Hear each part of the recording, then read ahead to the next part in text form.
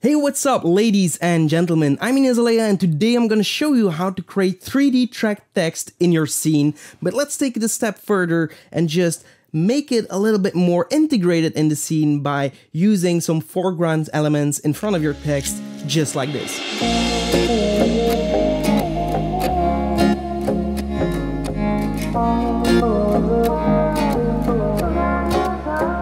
All that in Adobe After Effects after this.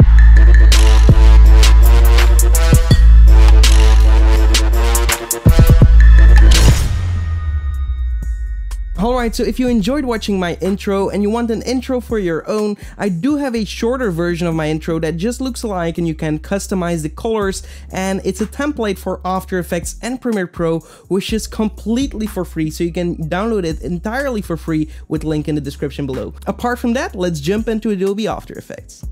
Alright, so here we are in Adobe After Effects and as you can see I have this video file prepared, an aerial video of a foggy island. It's an amazing video clip uh, and I actually got it from Pexels, uh, which is a website that uh, gives you free images and videos uh, without royalty uh, yeah, strings attached to it. So um, I'm open to use this image, so that's why I thought shout it, giving them a short shout out uh, would be nice because you can find amazing images and video there for your own work. So um, yeah, this has not been sponsored. It's just something a nice website with a free uh, to use stock footage, which I honestly need in my tutorials because otherwise I would always need to uh, film something myself. And yeah, you gotta admit, filming something like this would be quite hard. Uh, so I have my video file and what I will do is just drag it in a new composition so it copies all these settings here. Um, and I will just uh, kind of drag through it when we're in kind of good motion, like right over here, and then I would, uh, or actually right over here, and then move forward until we pass the mountain right here.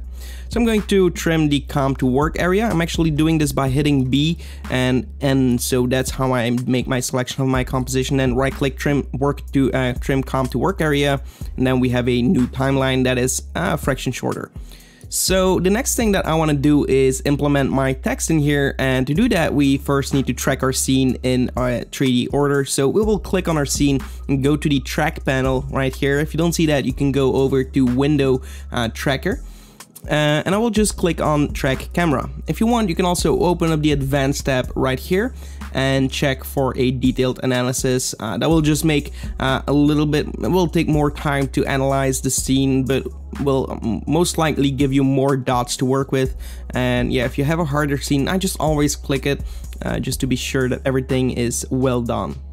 Before we continue this video, I would like to present you our website designed for filmmakers and video editors to improve their workflow. We offer templates, presets, high quality pre-made packs, soundscapes, essential graphics, and much more. If you don't have time to create something of your own or you just want to speed up your workflow, definitely check out our website with the link in the description below. Okay, so once it's done tracking your scene, you will see a bunch of dots. If you don't see them, make sure that your uh, footage has been selected and also the effect here, because if we deselect the effect, we won't see our dots here.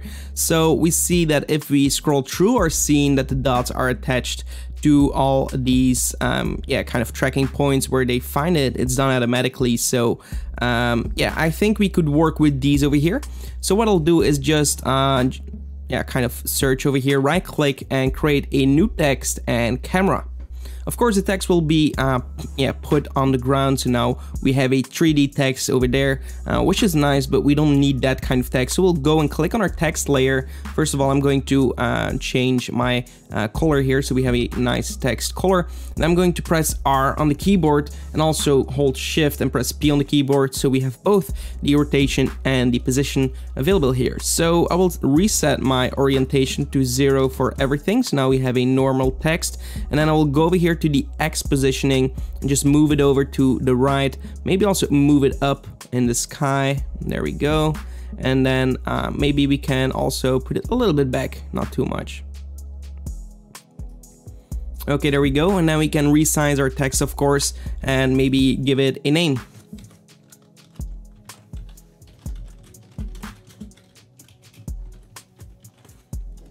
Okay, so I wrote down subscribe for more, which is what you should do if you enjoyed watching this video, and also check the bell icon so you get notified when I upload new videos. We make a bunch of filmmaking tutorials, uh, from Premiere to After Effects to filmmaking itself, so yeah, a little bit of a shameless kind of ad in the video, but uh, yeah, would be nice.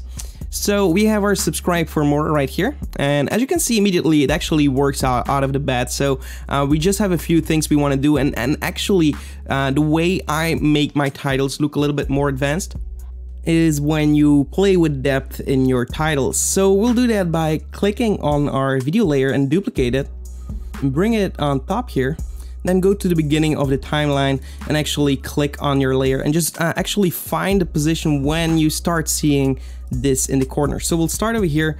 Uh, so trim our video clip to there. Double click on it and click on the rotation or the roto brush tool right here.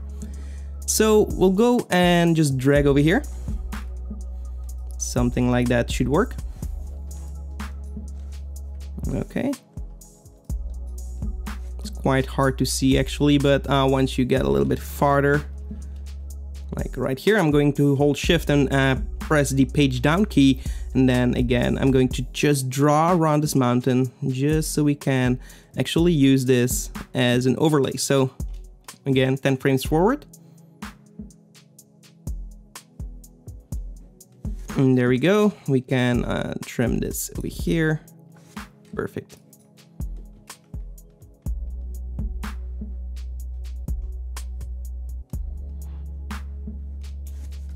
Okay, I think everything seems alright. So what I'll do now is just click on the freeze button here and that will freeze my roto uh, that I just did uh, in my video. So as you can see right here, it's doing an animation. It doesn't have to be perfect. As you can see, we just wanted to be able to cover our text up. So uh, we'll see how that goes. I did a I did a quick, pretty quick job. Uh, of course, you can take more time if you want more perfection in there, but it's going to be barely noticeable anyway. So Okay, there we go. So now what we want to do is go back to our composition itself. And as you can see, because this layer is on top of our text, we're actually covering up our text. And this is going to bring depth into our scene. So this is really cool. So another thing we can do is uh, play a little bit more with the design of our text. So we can, for example, duplicate our text, um, press P on the keyboard and kind of move it up front if you want to, and kind of switch the color so we have a stroke in the front um, maybe we want to click on our title itself and press T on the keyboard, lower the opacity a little bit so we have something more to see uh, through and it's also going to fit a little bit better with the colors of the scene. So uh, then we're going to click on this new layer that we just created with the stroke around our text and we can toggle the switches here and change the blending mode maybe to an additive or maybe an overlay. It's completely up to you. You can play around with everything here and duplicate it again maybe uh, and again press P on the keyboard and kind of move it in Z space uh, to create this kind of cool fun depth look. Uh, you can click on everything and maybe move it a little bit more up or actually rotate it a little bit more towards the camera because now I'm not quite following yet here. Okay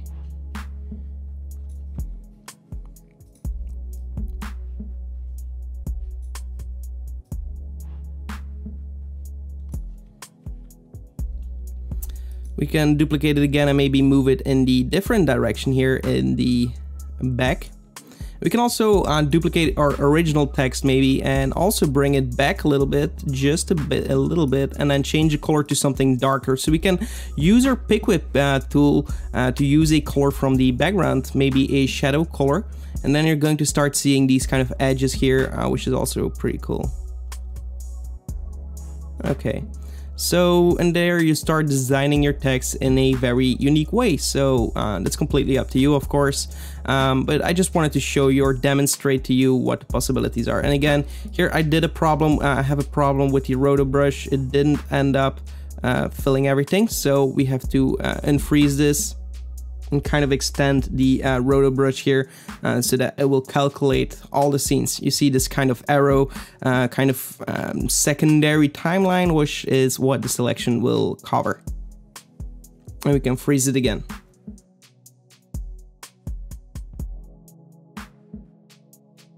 And there we go. So now we fixed that problem. Uh, so really cool with these kind of clouds in the background, the smoke, this fog in the, in the air. It's an amazing shot. And this with this unique title that we just tracked into our scene is also really cool. Uh, we can try and kind of, um, yeah, kind of make these invisible or actually lower the opacity even more and make it a little bit more unique. So this is going to be harder to read, of course, um, but just play around with everything um, and yeah, get some unique results. Uh, look at other kind of uh, similar effects from movies and try to Im uh, try to recreate them in Adobe After Effects. You know how to do it now, and so now it's completely up to you. Uh, you can also animate your text as a final uh, thing in our scene. We can press here, select everything, press P on the keyboard, and click on the stopwatch right here. Uh, so here we want our text to be visible, and we can also press T on the keyboard, um, hold Shift, and press P. So we have both of these in our scene. Click on the stopwatch for the opacity at the exact same spot. Go a little bit back and kind of um, go back in space and change the opacity to zero. And now we have this kind of animation that it's shooting out. Uh, we can also select our last keyframes and right click and go to keyframe assistance easy ease. And we can click here on the graph editor and yeah kind of uh, drag this if we zoom in a little bit this thing here more to the left so it's a slower stop, a very subtle stop, which is really cool. And then lastly, we want to kind of add some uh, motion blur while this movement is going on. So we'll toggle the switches and select all our layers, click on this uh, stop motion, well, uh, what am I saying, uh, motion blur icon, and also enable the motion blur for the scene itself. And then you will see this kind of motion blur, this the text shooting out and creating some really cool effects. So, boom, okay, really cool. Alright, so that's it for this video. I hope you enjoyed it. If you did, give this video a like. Also be sure to subscribe to the channel and check the notification bar so you get notified when I upload new videos. And also check out our website. We have a bunch to offer for filmmakers, motion graphics artists, and much more. Hope to see you in the next one. Goodbye.